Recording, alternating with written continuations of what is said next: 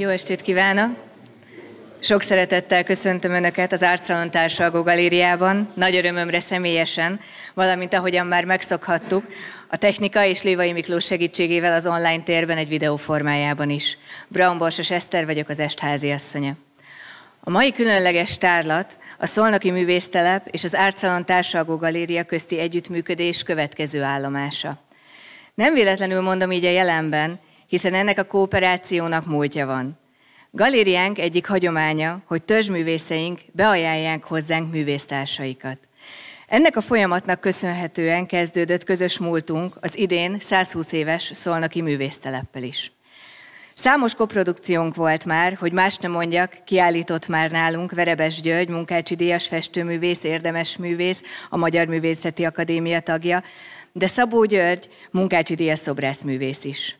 De térjünk át a jelenre. Aztán bízom benne, hogy majd még a jövőről is hallunk majd. Szóval a jelen. A mai kiállítás megnyitó főszereplője Barát Fábián. Hadd kérjek neki egy nagy tapsot.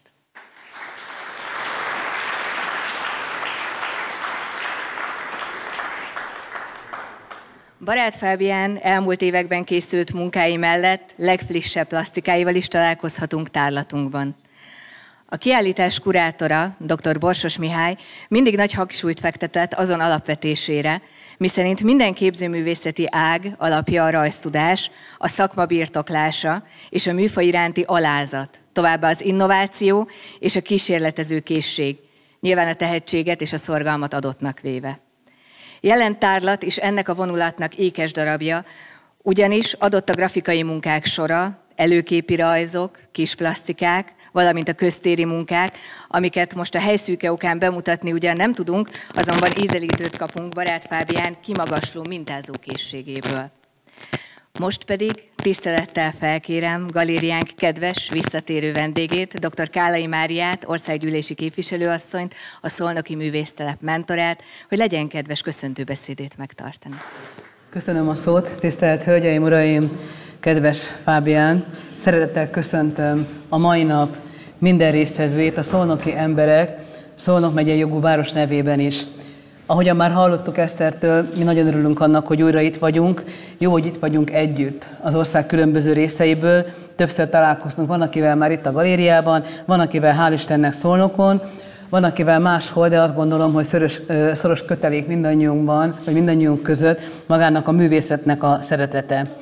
Ha jól emlékszem, és nem kérdeztem meg a számot pontosan, de én szeretem a számokat, de vagy harmadik, vagy negyedik alkalommal, de ez a minimum költözik ide a Szolnoki Művésztelep egy része, az Árszalon Társadalmi Galériába, hogyha a Szolnokot pozícionálni kellene, hogy a művészettől kicsit eltérő marketing szavaival fogalmazzam meg, akkor pont a művésztelep az egyik erős bástya, ami fölhelyezi az ország kulturális és művészeti térképére, és azt gondolom, hogy ez egy nagyon-nagyon nagy dolog, egy nagy áldás, de én azt gondolom, hogy az áldások azok akkor valósulnak meg, hogyha emögött professzionális tartalmi munka van, és olyan művészek élnek itt most itt ez a három úr mellettem, akik eh, erre méltóvá teszik városunkat, és én ezt nagyon-nagyon-nagyon köszönöm.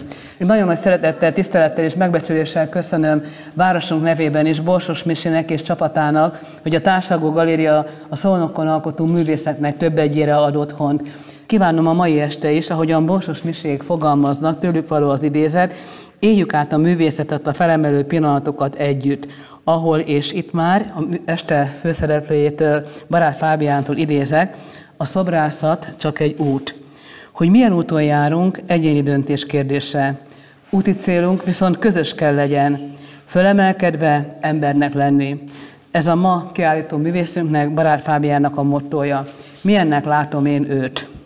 A művésztelepünknek karakteres művésze, bármilyen programon is vagyunk, a kolónián nem lehet őt nem észrevenni, nem elgondolkodni a tartásán, kedvességén, megnézve a vele készült interjúkat, felkészültségén, optimizmusán.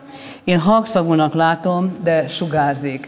Szűkszavúnak is gondolom, de úgy gondolom, hogy minden szónak, írásjelnek tudatos helye van a beszédében, én ilyennek látom. És az, hogy tökéletességre törekvő, vívódó, határozott, mesteri. Szerény, teszi a dolgát, úton van. Az útja nagyon gazdag, hiszen 11-12 önálló kiállítása jól számoltam, és minimum 98 csoportos kiállítás. Érdekes volt megfigyelni, hogy a csoportos kiáltások dinamikájában, ritmusában feltűnik az, hogy egészen fiatal kora óta én már 23 éve résztvevője alkotásával csoportos kiáltásoknak, hiszen még ő maga is nagyon fiatal. És az a 11 díj, ami szintén nagyon megbecsülendő, amit a munkáért kapott. Azt, hogy melyik a legkedvesebb, nem kérdeztem meg tőle, azt sem tudom, hogy egyáltalán van-e ilyen, de abban teljesen biztos vagyok megkérdezés nélkül is, hogy az egyáltalán nem véletlen, hogy 2021-ben is és 23-ban is díjazottnak lenni az országos érembiennálén, ez nem lehet véletlen. Saját fejlődésem mellett nagyon kiragyog az, hogy gondja van a művésztelep közösségére is, aktívan kiveszi a részét a művésztelep életéből, a szervező munkából.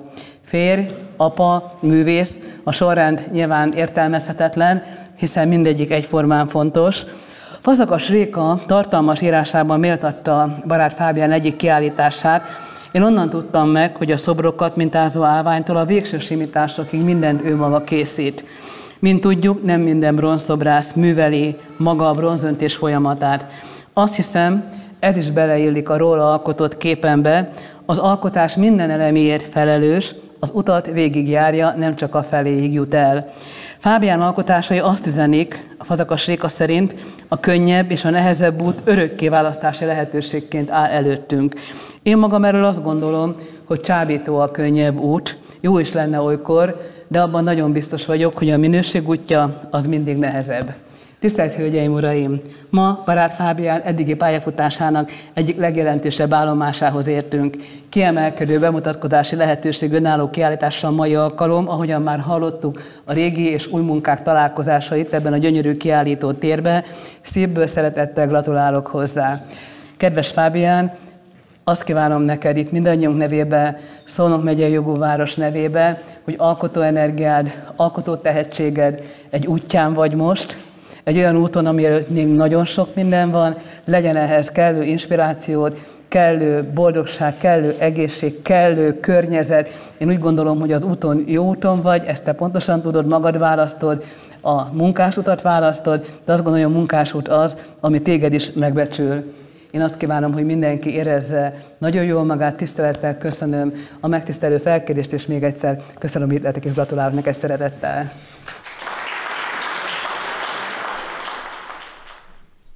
Nagyon szépen köszönjük. Most pedig tisztelettel felkérem Verebes György festőművészt, a Szolnoki Művésztelep vezetőjét, hogy legyen kedves megnyitni a kiállítást. Szervusztok, jó estét kívánok mindenkinek. Még mielőtt belekezdenék, egy mondat, tehát kívánom minden magyarországi, kárpát-medencei művészetbarátnak, kultúra iránt elkötelezett embernek, hogy ilyen országgyűlési képviselőjük legyen, mint dr. Kálai Mária. Ezt gondolom ebből a beszédből is kiderül.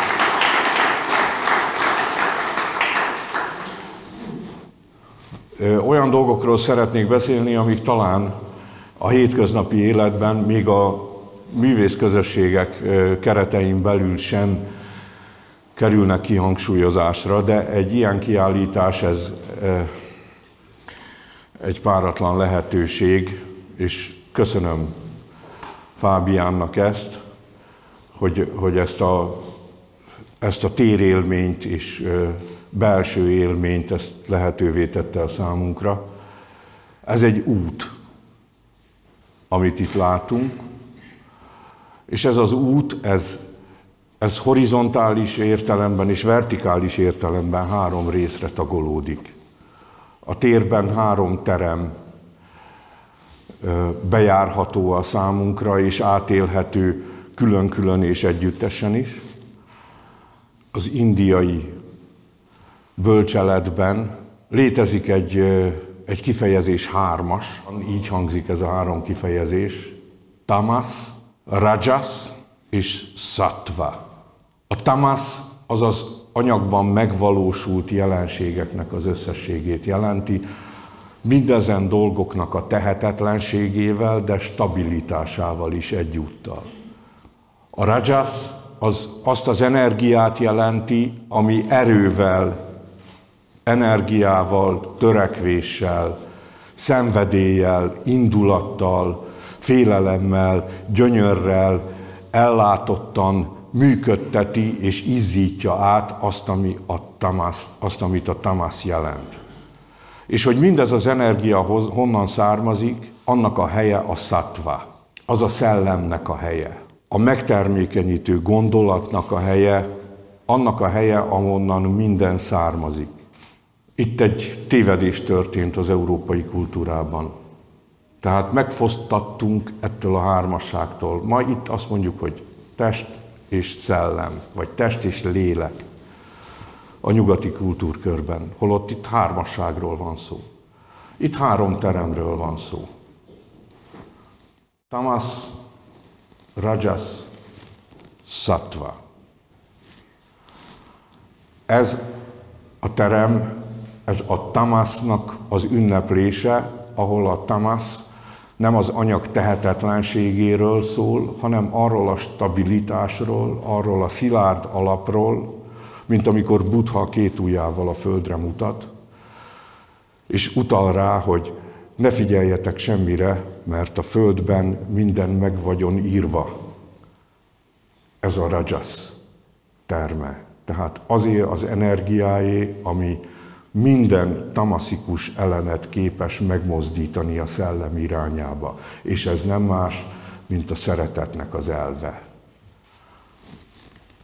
És ott van a lényegi terem, a szatvikus terem, a szellemnek a terme, ami függetlenül attól, hogy fizikai formában vagy lelki formában jelenik meg, energiabeli formában, a törekvés, az akarás formájában, vagy a teljesítmény formájában, végül kiderül, hogy mégiscsak ugyanabból a szellemből származik, és a szellem az nem gondolat.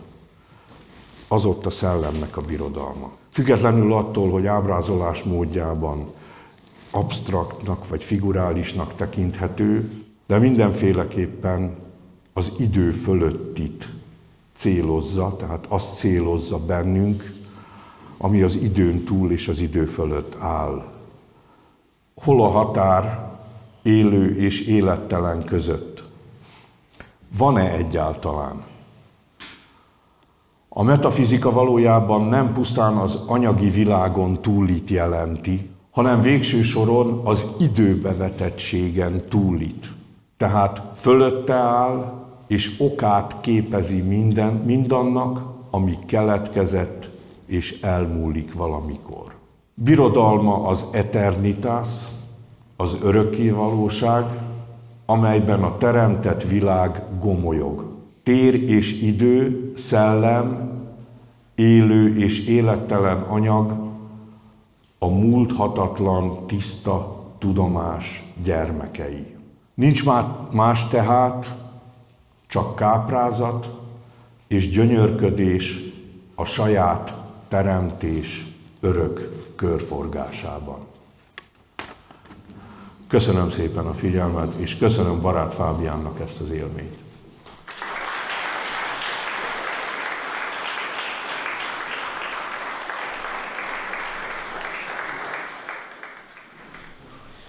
Köszönjük szépen az értékes gondolatokat.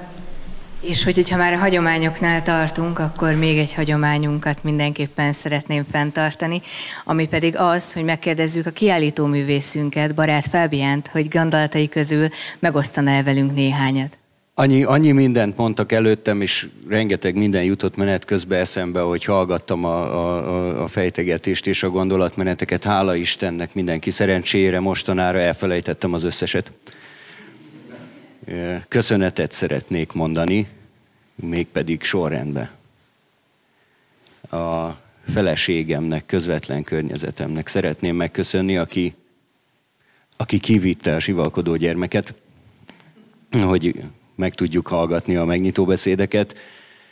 Szeretném neki megköszönni azt, hogy az elmúlt néhány hétben, hónapban az én pánik szobrászatai rohamaim közepette valahogy mégis életbe tartott és elviselte, hogy véletlen találkozunk a fürdőszobába vagy a művésztele parkolójába. Remélem, hogy, hogy most egy kicsit hazatérve meg fogok majd nyugodni. Szeretném megköszönni, nem tudom egyszerre kimondani a Társalgó Galéria és a Szolnoki Művésztelep szókapcsolatokat, de ez, ezeket így egyszerre szeretném megköszönni a művésztelepnek és a, a Társalgó Galéria csapatának, hogy az ő együttműködésüknek köszönhetően én most itt állhatok, itt megmutathatom a, a, a munkáimat. Azt hiszem, hogy nekem nem volt ilyen volumenű önálló kiállításom soha. Remélem, hogy még lesz, de, de, ez, de ez az, én, az én pályámon ez egy olyan lépés, ami, amit, amit az ő segítségük, a művésztelep csapata és a, a Társalgó Galéria csapatának a segítsége nélkül én nem hiszem, hogy meg tudtam volna tenni.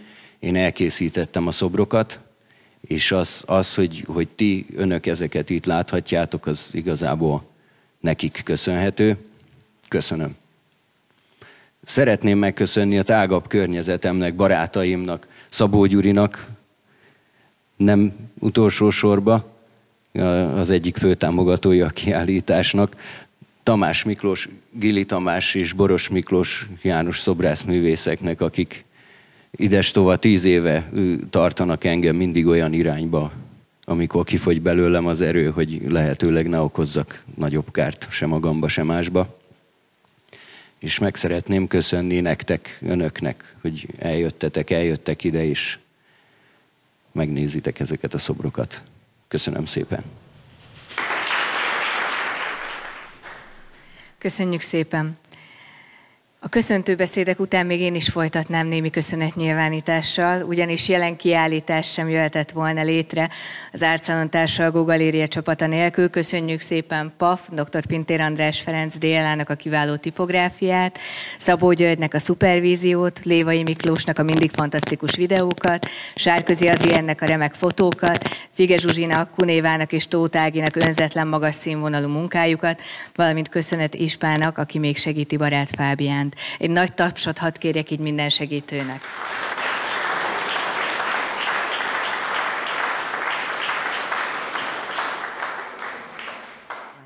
Figyelmükbe ajánlom továbbá a Galéria YouTube csatornáját, valamint Facebook oldalát, ahol az elkövetkezendő eseményekről is tájékozódhatnak. További nagyszerű időtöltést, feltöltődést kívánok Önöknek itt az Árcálon Társalgó Galériában, a kellemes beszélgetéshez pedig kérem fogadjanak el egy pohár bort. Köszönöm, hogy itt vannak.